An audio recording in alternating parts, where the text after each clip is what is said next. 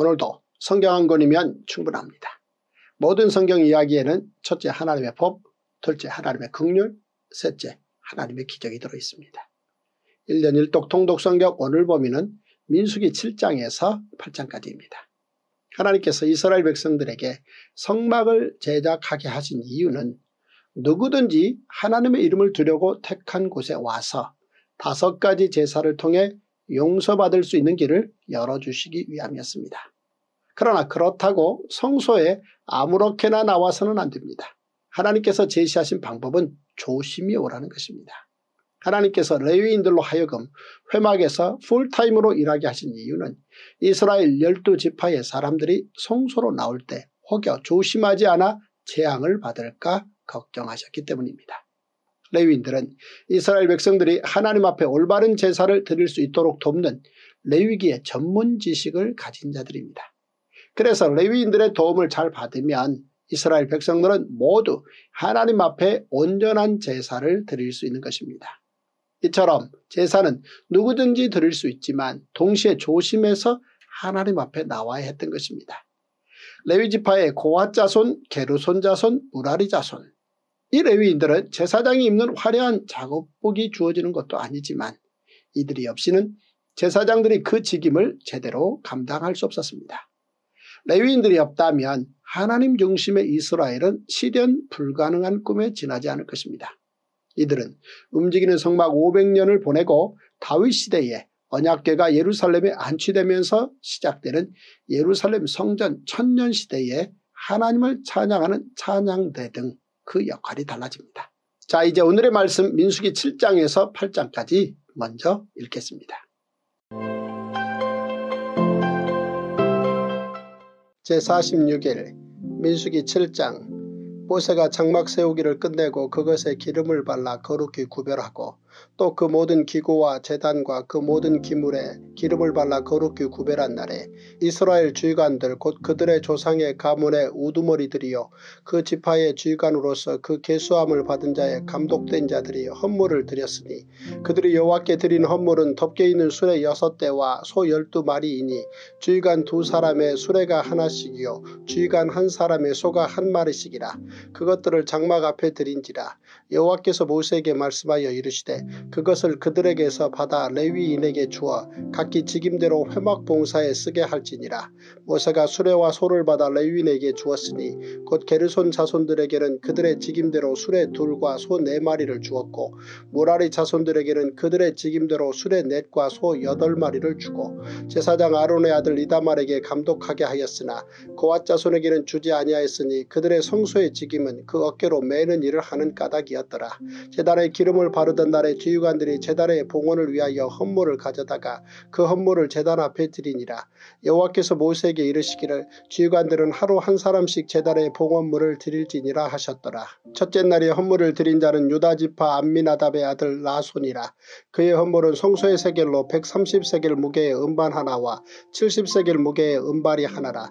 이 두 그릇에는 소재물로 기름 섞은 고운 가루를 채웠고 또 열세겔 무게의 금그릇 하나라. 그것에는 향을 채웠고 또 번제물로 수송아지 한 마리와 순양 한 마리와 1년 된 어린 순양 한 마리이며 속죄제물로 순념소 한 마리이며 화목제물로 소 두 마리와 순양 다섯 마리와 순념소 다섯 마리와 1년 된 어린 순양 다섯 마리라. 이는 안미나답의 아들 나솔의 헌물이었더라. 둘째 날에는 이사갈의 주의관 수알의 아들 느다넬이 헌물을 드렸으니 그가 드린 헌물도 성소의 세겔로 130세겔 무게의 음반 하나와 70세겔 무게의 음발이 하나라. 이 두 그릇에는 소재물로 기름 섞은 고운 가루를 채웠고 또 10세겔 무게의 금그릇 하나라 그것에는 향을 채웠고 또 번제물로 수송아지 한 마리와 순양 한 마리와 1년 된 어린 순양 한 마리이며 속죄제물로 순념소 한 마리이며 화목제물로 소 두 마리와 순양 다섯 마리와 순념소 다섯 마리와 1년 된 어린 순양 다섯 마리라. 이는 수알의 아들 느다넬의 헌물이었더라.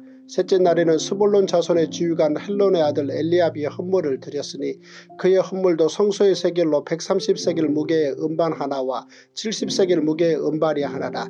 이 두 그릇에는 소재물로 기름 섞은 고운 가루를 채웠고 또 10세겔 무게의 금그릇 하나라 이것에는 향을 채웠고 또 번제물로 수송아지 한 마리와 순양 한 마리와 1년 된 어린 순양 한 마리이며 속죄제물로 순념소 한 마리이며 화목제물로 소 두 마리와 순양 다섯 마리와 순념소 다섯 마리와 1년 된 어린 순양 다섯 마리라 이는 헬론의 아들 엘리압의 헌물이었더라. 넷째 날에는 루벤 자손의 주의관 스데울의 아들 엘리술이 헌물을 드렸으니 그의 헌물도 성소의 세겔로 130세겔 무게의 은쟁반 하나와 70세겔 무게의 은발이 하나라. 이 두 그릇에는 소재물로 기름 섞은 고운 가루를 채웠고 또 10세겔 무게의 금그릇 하나라 이것에는 향을 채웠고 또 번제물로 수송아지 한 마리와 순양 한 마리와 1년 된 어린 순양 한 마리이며 속죄제물로 순념소 한 마리이며 화목제물로 소 두 마리와 순양 다섯 마리와 순념소 다섯 마리와 1년 된 어린 순양 다섯 마리라 이는 수데울의 아들 엘리술의 헌물이었더라. 다섯째 날에는 시므온 자손의 지휘관 수리사떼의 아들 술루미엘이 헌물을 드렸으니 그 헌물도 성소의 세겔로 130세겔 무게의 은쟁반 하나와 70세겔 무게의 은발이 하나라. 이 두 그릇에는 소재물로 기름 섞은 고운 가루를 채웠고 또 10세겔 무게의 금그릇 하나라 이것에는 향을 채웠고 또 번제물로 수송아지 한 마리와 순양 한 마리와 1년 된 어린 순양 한 마리이며 속죄제물로 순념소 한 마리이며 화목제물로 소 두 마리와 순양 다섯 마리와 순념소 다섯 마리와 1년 된 어린 순양 다섯 마리라. 이는 수리사떼의 아들 술루미엘의 헌물이었더라. 여섯째 날에는 가짜손의 주의관 두우엘의 아들 엘리아삽이 헌물을 드렸으니 그의 헌물도 성소의 세겔로 130세겔 무게의 은쟁반 하나와 70세겔 무게의 은발이 하나라. 이 두 그릇에는 소재물로 기름 섞은 고운 가루를 채웠고 또 10세겔 무게의 금그릇 하나라. 이것에는 향을 채웠고 또 번제물로 수송아지 한 마리와 순양 한 마리와 1년 된 어린 순양 한 마리이며 속죄제물로 순념소 한 마리이며 화목제물로 소 두 마리와 순양 다섯 마리와 순념소 다섯 마리와 1년 된 어린 순양 다섯 마리라 이는 두 웰의 아들 엘리아삽의 헌물이었더라. 일곱째 날에는 에보라임 자손의 주위관 암미우스의 아들 엘리사마가 헌물을 드렸으니 그의 헌물도 성소의 세겔로 130세겔 무게의 은쟁반 하나와 70세겔 무게의 은발이 하나라. 이 두 그릇에는 소재물로 기름 섞은 고운 가루를 채웠고 또 10세겔 무게의 금그릇 하나라. 이것에는 향을 채웠고 또 번제물로 수송아지 한 마리와 순양 한 마리와 1년 된 어린 순양 한 마리이며 속죄제물로 순념소 한 마리이며 화목제물로 소 두 마리와 순양 다섯 마리와 순념 염소 다섯 마리와 1년 된 어린 순양 다섯 마리라. 이는 암미우스의 아들 엘리사마의 헌물이었더라. 여덟째 날에는 문하세 자손의 지휘관 부다술의 아들 가말리엘이 헌물을 드렸으니 그 헌물도 성소의 세겔로 130세겔 무게의 은쟁반 하나와 70세겔 무게의 은발이 하나라. 이 두 그릇에는 소재물로 기름 섞은 고운 가루를 채웠고 또 10세겔 무게의 금그릇 하나라. 이것에는 향을 채웠고 또 번제물로 수송아지 한 마리와 순양 한 마리와 1년 된 어린 순양 한 마리이며 속죄제물로 순념소 한 마리이며 화목제물로 소 두 마리와 순양 다섯 마리와 순념소 다섯 마리와 1년 된 어린 순양 다섯 마리라. 이는 부다술의 아들 가말리엘의 헌물이었더라. 아홉째 날에는 베냐민 자손의 지휘관 기드오니의 아들 아비단이 헌물을 드렸으니 그의 헌물도 성소의 세겔로 130세겔 무게의 은쟁반 하나와 70세겔 무게의 은발이 하나라. 이 두 그릇에는 소재물로 기름 섞은 고운 가루를 채웠고 또 10세겔 무게 의 금그릇 하나라 이것에는 향을 채웠고 또 번제물로 수송아지 한 마리와 순양 한 마리와 1년 된 어린 순양 한 마리이며 속죄제물로 순념소 한 마리이며 화목제물로 소 두 마리와 순양 다섯 마리와 순념소 다섯 마리와 1년 된 어린 순양 다섯 마리라. 이는 기드오니의 아들 아비달의 헌물이었더라. 열째 날에는 단자손의 주위관 안미사떼의 아들 아이에셀이 헌물을 드렸으니 그의 헌물도 성소의 세겔로 130세겔 무게의 은쟁반 하나와 70세겔 무게의 은발이 하나라. 이 두 그릇에는 소재물로 기름 섞은 고운 가루를 채웠고 또 10세겔 무게의 금그릇 하나라. 이것에는 향을 채웠고 또 번제물로 수송아지 한 마리와 순양 한 마리와 1년 된 어린 순양 한 마리이며 속죄제물로 순념소 한 마리이며 화목제물로 소 두 마리와 순양 다섯 마리와 순염소 다섯 마리와 1년 된 어린 순양 다섯 마리라. 이는 암미사떼 아들 아이에셀의 헌물이었더라.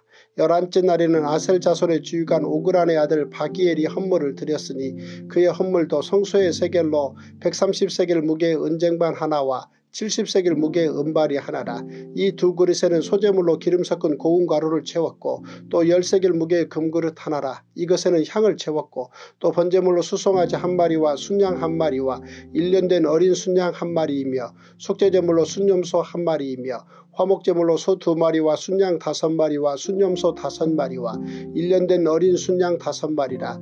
이는 오그란의 아들 바기엘의 헌물이었더라. 열두째 날에는 납달리 자손의 지휘관 에난의 아들 아히라가 헌물을 드렸으니 그의 헌물도 성소의 세겔로 130세겔 무게의 은쟁반 하나와 70세겔 무게의 은발이 하나라.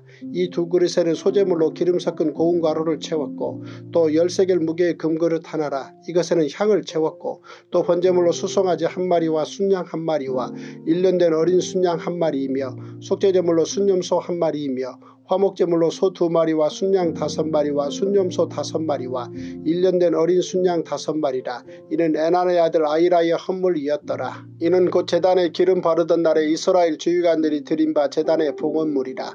은쟁반이 열둘이요 은바리가 열둘이요 금그릇이 열둘이니 은쟁반은 각각 130세겔 무게요 은바리는 각각 70세겔 무게라. 성소의 세겔로 모든 기구의 은이 모두 2400세겔이요 또 향을 채운 금그릇이 열둘이니 성소의 세겔로 각각 10세겔 무게라.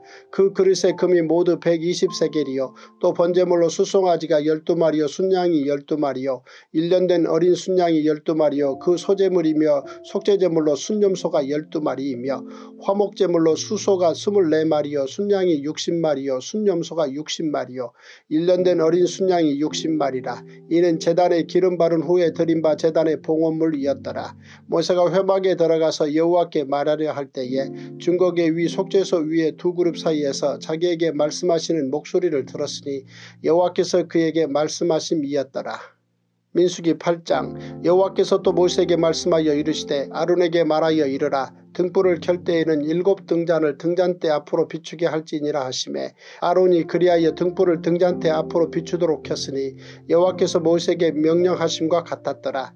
이 등잔대의 제작법은 이러하니 곧 금을 쳐서 만든 것인데 밑판에서 그 꽃까지 쳐서 만든 것이라. 모세가 여호와께서 자기에게 보이신 양식을 따라 이 등잔대를 만들었더라. 여호와께서 모세에게 말씀하여 이르시되 이스라엘 자손 중에서 레위인을 데려다가 정결하게 하라.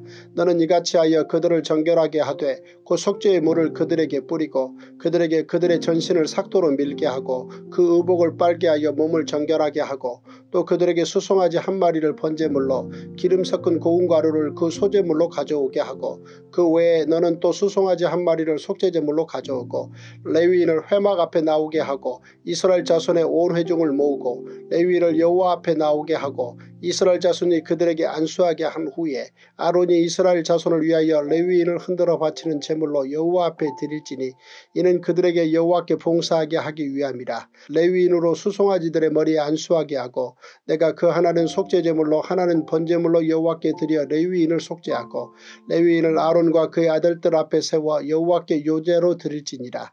너는 이같이 이스라엘 자손 중에서 레위인을 구별하라. 그리하면 그들이 내게 속할 것이라. 내가 그들을 정결하게 하여 요제로 드린 후에 그들이 회막에 들어가서 봉사할 것이니라. 그들은 이스라엘 자손 중에서 내게 온전히 드린 바 된 자라. 이스라엘 자손 중 모든 초태생 곧 모든 처음 태어난 자 대신 내가 그들을 취하였나니 이스라엘 자손 중에 처음 태어난 것은 사람이든지 짐승이든지 다 내게 속하였음은 내가 일곱 땅에서 모든 처음 태어난 자를 치던 날에 그들을 내게 구별하였습니다. 이러므로 내가 이스라엘 자손 중 모든 처음 태어난 자 대신 레위인을 취하였느니라. 내가 이스라엘 자손 중에서 레위인을 취하여 그들을 아론과 그의 아들들에게 주어 그들로 회 막에서 이스라엘 자손을 대신하여 봉사하게 하며 또 이스라엘 자손을 위하여 속죄하게 하였나니 이는 이스라엘 자손이 성소에 가까이 할 때에 그들 중에 재앙이 없게 하려 하였음이니라. 모세와 아론과 이스라엘 자손의 온 회중이 여호와께서 레위인에 대하여 모세에게 명령하신 것을 다 따라 레위인에게 행하였으되 곧 이스라엘 자손이 그와 같이 그들에게 행하였더라. 레위인이 이에 죄에서 스스로 깨끗하게 하고 그들의 옷을 빨매 아론이 그들을 여호와 앞에 요제로 드리고 그가 또 그들을 위하여 속죄하여 정결하게 한 후에 레위인이 회막에 들어가서 아론과 그의 아들들 앞에서 봉사하니라. 여호와께서 레위인의 일에 대하여 모세에게 명령하게 하신 것을 따라 그와 같이 그들에게 행하였더라. 여호와께서 또 모세에게 말씀하여 이르시되 레위인은 이같이 할지니 곧 25세 이상으로는 회막에 들어가서 복무하고 봉사할 것이요 50세부터는 그 일을 쉬어 봉사하지 아니할 것이나 그의 형제와 함께 회막에서 돕는 직무를 지킬 것이요 일하지 아니할 것이라. 너는 레위인의 직무에 대하여 이같이 할지니라.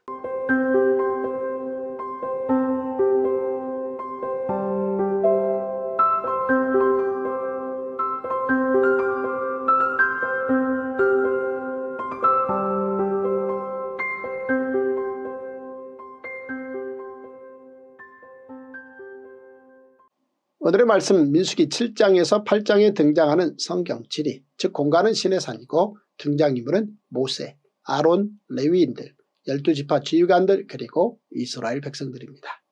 오늘은 이스라엘의 열두 지파에 대해 살펴보겠습니다. 야곱에게는 12명의 아들들이 있었습니다. 그런데 야곱은 죽은 줄로만 알았던 11번째 아들 요셉을 22년 만에 다시 만나고 요셉의 두 아들 문하세와 에브라임을 야곱의 양자로 삼습니다. 그래서 야곱의 아들들은 총 14명이 됩니다. 그 후 요셉의 이름은 요셉의 두 아들 문하세와 에브라임 이름에 속하게 됩니다. 그래서 최종적으로 야곱의 아들은 13명, 13지파가 됩니다.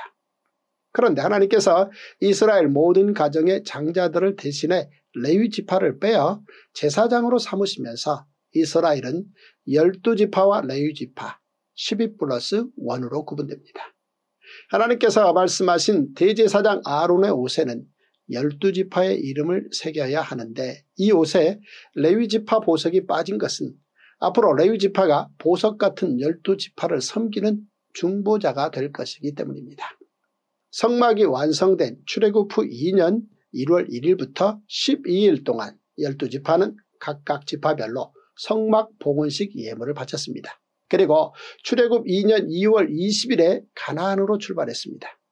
성막 봉헌식의 열두 지파가 하나님께 바친 예물은 다음과 같습니다. 첫째 열두 지파는 성막 봉헌식에 덮여 있는 수레 6대와 소 12마리를 바쳤습니다. 수레가 6대인 까닭은 두 지파당 수레 한 대씩을 바쳤기 때문이고 소는 12지파가 각각 소 한 마리씩을 바쳤습니다. 하나님께 바쳐진 이 예물 덮개 있는 술의 6대와 소 12마리는 모두 레위지파에게 돌려졌습니다. 레위지파 고아 자손에게는 이 예물이 배당되지 않았습니다. 고아 자손은 수레나 수레를 모는 소가 필요하지 않았기 때문입니다. 고아 자손은 언약궤를 그들의 어깨로 메어 옮기도록 제사장 나라 법으로 정해져 있기 때문입니다. 성막의 모든 성물을 수레에 실어 옮기는 일을 책임 맡았던 게르손 자손은 수레 두 대와 소 네 마리를 받았습니다. 그리고 무라리 자손은 수레 네 대와 소 여덟 마리를 받아 그들의 맡은 일을 감당했습니다. 둘째, 열두 지파가 성막 봉헌식에 동일하게 드린 봉헌물은 다음과 같습니다. 예물은 은쟁반 한 개, 은발이 한 개, 금그릇 한 개입니다. 소재물은 은반과 은발이에 기름 섞은 고운 가루를 가득 채워 바쳤습니다. 향은 금그릇에 향을 가득 채워 바쳤습니다. 번제물로는 수송아지 한 마리, 순양 한 마리, 1년 된 어린 순양 한 마리를 바쳤습니다. 속죄 제물로는 순염소 한 마리를 바쳤습니다. 화목 제물로는 소 두 마리, 순양 다섯 마리, 순염소 다섯 마리, 그리고 1년 된 어린 숫양 다섯 마리를 바쳤습니다. 셋째, 열두 지파가 성막 봉헌식의 예물을 바친 순서는 진 배치 순서대로 그리고 하루에 한 지파씩 하나님께 봉헌물을 바쳤습니다. 12일 동안 봉헌물을 바친 지파의 순서는 유다, 이사갈, 스불론, 루벤, 시므온, 갓, 에브라임, 므낫세, 베냐민, 단, 아셀, 납달리 순이었습니다. 성막 봉헌식 12일 동안 진행된 이스라엘 12지파 지휘관들의 헌물 드리는 기간이 모두 끝나자 마지막으로 레위 지파가 모두 성막 앞으로 나오고 이스라엘 열두 지파의 모든 사람이 레위 지파에게 안수를 합니다. 그리고 대제사장 아론이 요제로 마무리합니다. 이는 레위인들은 하나님께 봉사하는 자들임을 다시 한번 확인하는 것이었습니다. 레위인은 이스라엘 열두 지파와 달리 특별하게 구별되어 제사장 나라를 위해 전적으로 헌신하는 사람들이었습니다. 정말 감사하고 감격스러운 장면입니다.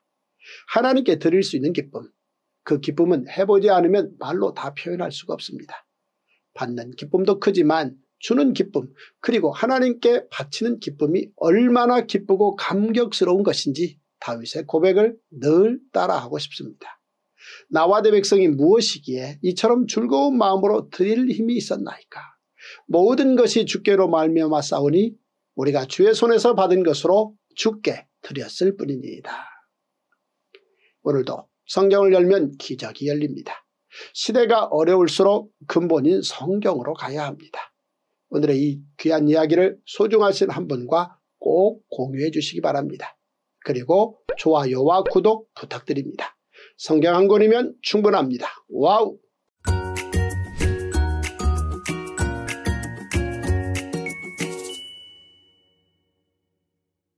히말라야 2만여 개 마을의 복음화를 위한 에베레스트산 선교훈련센터 건립에 여러분의 기도와 한 구자 동참을 부탁드립니다. Dr. James O. Davis, the founder and president of Global Church Network, has repeatedly said, For my entire life, I've heard about the underground church in the Middle East, but now it is time to hear about the upper ground church in the Himalayan mountains. The Himalayan mountains are 1,500 miles wide, ranging from Bhutan to Nepal, India, Pakistan, and Afghanistan. There are more than 20,000 villages in the higher altitudes that have never had a local church in them. Mount Everest Training Center. The Mount Everest Training Center will be located in Salokambu, Nepal at the 8,000 foot level. Salokambu has a population of more than 110,000 people. The training center is just 7 miles from the Everest Base Camp at 17,500 feet and 15 miles from Mount Everest Peak, which is at 29,032 feet.